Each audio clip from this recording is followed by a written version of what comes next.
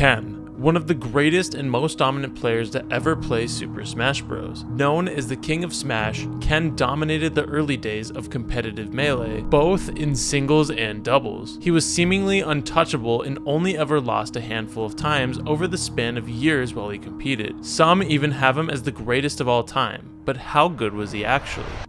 Ken Hoang's competitive Melee history began in 2003, and he had some incredible results from the get-go. After Ken won a GameStop tournament, which was a four-player free-for-all with items on, he posted online that he was the greatest player. The best player known by the competitive Smash community was a Sheik main named Recipherus. Recipherus and the second best player, Matt Deasy, caught wind of this and challenged Ken to a $200 money match, thinking it was easy money. Ken accepted not knowing about the competitive scene and still beat them both. Ken asked if he was the number one player now, but they told him that he needed to win the coming biggest West Coast tournament, TG4, to be the best. Ken attended and beat Recipherus at TG4, and in his own words, tore through the whole entire tournament. Ken was seen as the best player on the West Coast after winning TG4, and no one was able to beat him. Later that same year, TG5 was coming, and there was a lot of hype for who was a better region, the West or the East Coast at Melee. The East Coast and their best player Azen came to TG5, but Ken won that without even having to play Azen, showing that their best player couldn't even make it to Grand Finals to even play Ken. Around TG5, Ken also introduced and began practicing with Isaiah, arguably the GOAT of doubles and an incredible player in his own right. Now, old school Melee was a little bit different back in the day. There were more legal stages such as Corneria and Rainbow Cruise, which, what the hell? How was this shit legal back in the day? One of the biggest differences, however, was the West Coast had items on while the East Coast didn't, so Ken's TG4 and 5 wins were with items on. The East Coast debunked the West Coast wins since items had such a random element to Smash and didn't showcase skill in their opinion. Slighted by this, the East Coast challenged Ken to play by their rules, which set the stage for 2004.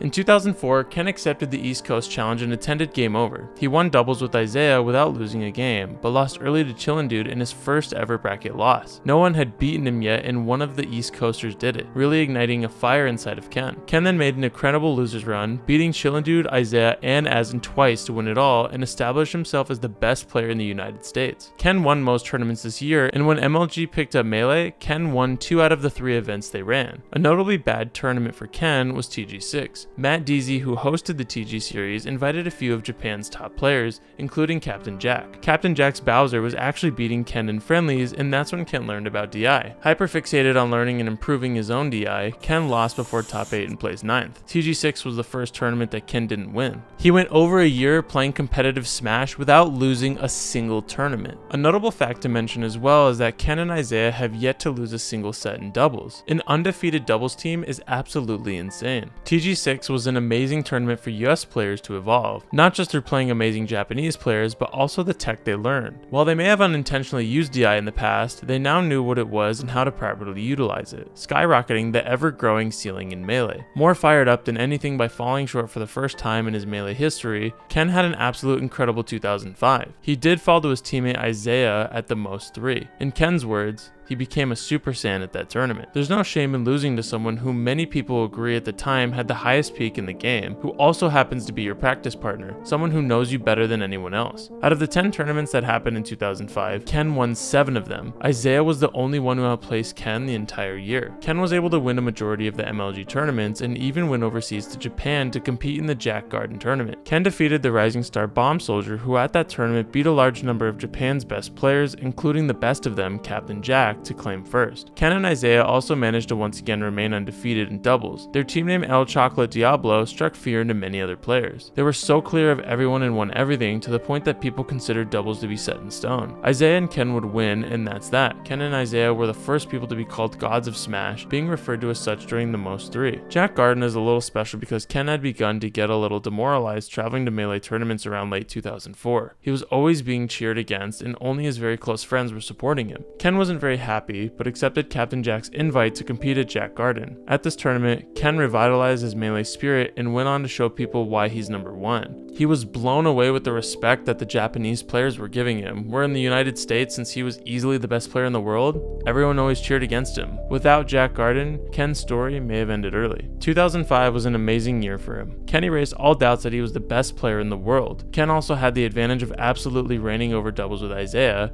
and Ken at this point had innovated an incredible amount of tech. Notable examples are dash dancing, chain grabbing, and of course, the Ken combo. He also helped develop Fox. It wasn't anything fancy or extremely game changing, but he had one of the first ever runaway Foxes. Many people took aspects of Ken's Fox to improve their own. He also proved himself to be very mentally resilient, able to make great losers runs, reverse 3-0s, and proved himself to adapt extremely well. A notable example was his MLG set with the Marth Slayer wife. Ken was down 2-0 and brought it all the way back at one of the biggest tournaments. In 2006, Ken was still the best player, but he faltered a little bit more compared to his previous years. He won most of the MLG tournaments that year and still was on top for doubles. New faces that could challenge the king of Smash surfaced however, and Ken had his lowest placement since TG6. His teammate Isaiah defeated him at NorCal tournament, and the new kid on the block PC Chris clutched MLG New York against him. After Azen made a stellar comeback to knock Ken into losers at MLG Orlando, Ken fell to another new face being Mewtwo King. And if you want to know more about Mewtwo King, I made a full video about his godly Smash career. Ken fell to Azen and Mewtwo King again at the New York playoffs for 7th. He fell short at the most grand event in Las Vegas, the MLG National Championship, losing to many who, including himself, considered his counter, Korean DJ. He faltered in doubles a bit as well, with El Chocolate Diablo losing their first ever set to Taj and Forward. Though they still managed to win the tournament, they also failed to win their first ever tournament at MLG Chicago. Now while it might seem that Ken wasn't great in 2006, that couldn't be further from the truth. Ken was still the best player in the world. He won more tournaments than anyone else and still dominated doubles with Isaiah. He only lost two events with Isaiah and won literally everything else. While he faltered to a few new faces, that was more of a case of people getting better and reaching the highest level than it was Ken being worse. While he initially planned for 2006's MLG National Championship to be his last tournament, he wanted to go out with a bang. His eyes were set on going out as a champion. MLG had dropped Melee and there weren't many big tournaments. EVO announced it would pick up Melee for the first time and similar to MLG, there would be a lot of smaller events, with the biggest tournament named EVO World being the grand finale. Ken attended three tournaments before EVO World and ended up winning two of them, while placing fourth at the other. EVO World was the largest tournament in Melee history until Genesis 1 happened, and Ken managed to win the whole thing. Satisfied with his career, Ken entered Super Champ Combo and placed 7th before officially retiring.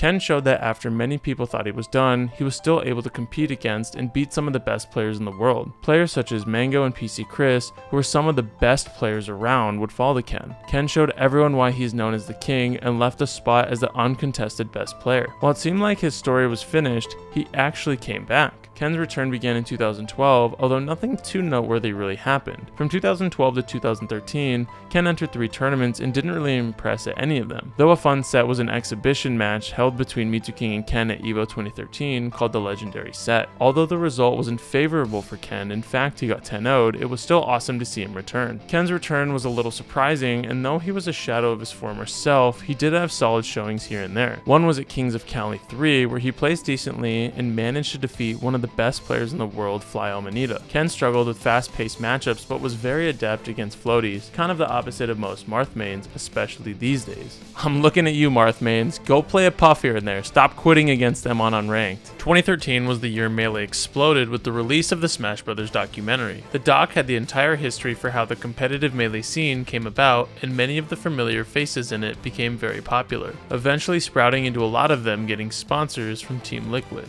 2014 was a very active year for Ken, but it was mostly limited to locals, with not as many majors attended. He did have a few good performances, and he was able to do well enough at majors to qualify for MLG Anaheim 2014, and placing 13th at the very stacked Kings of Cali 4. He was also able to hold an edge on the second best Peach in the world, MacD. The most impressive thing he did in 2014 was taking a game off the seemingly invincible Armada at CEO 2014. Ken was one of the few people able to take a game from the god and in a best of three. Sadly, Ken's story doesn't really get any better. In fact, as time passed on his performance declined and he slowly placed lower at majors every year. He did have a few highlights though, and a fun one was an exhibition salty sweet match between PC Chris and Ken. Last stock. Last one. stock. Can Ken hold on to it? Run back, the grab, and a nair. What? What happened?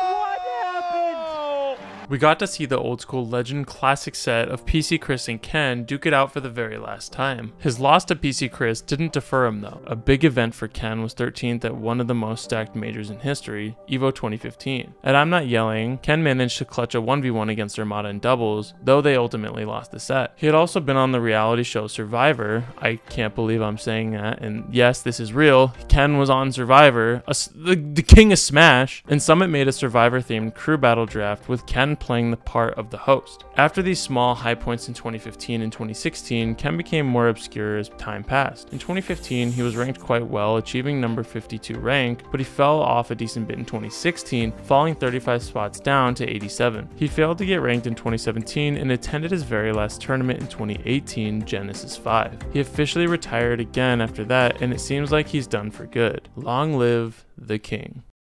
Now, how good was Ken actually? Ken was one of the absolute best to ever play the game. It took a whole year for him to take his first ever bracket loss. He was ranked number one from the year he started in 2003 to 2006, and in 2007, he still managed to obtain a number two rank. Before his retirement in 2007, out of the 38 tournaments Ken attended, he won 26 of them. That's an unreal number of events he straight up won. Ken was also a phenomenal doubles player and one of the best to ever do it, being a part of without question the most dominant team in Melee history, El Chocolate Diablo. It took three years for him to lose a single set in doubles, and they won 25 out of the 28 events they attended. Ken is one of the few people that can be considered a contender for the GOAT. He's one of, if not the absolute most dominant players to play the game, with four years being the undisputed number one player in the world. Now that's how good Ken, the king of Smash, actually was.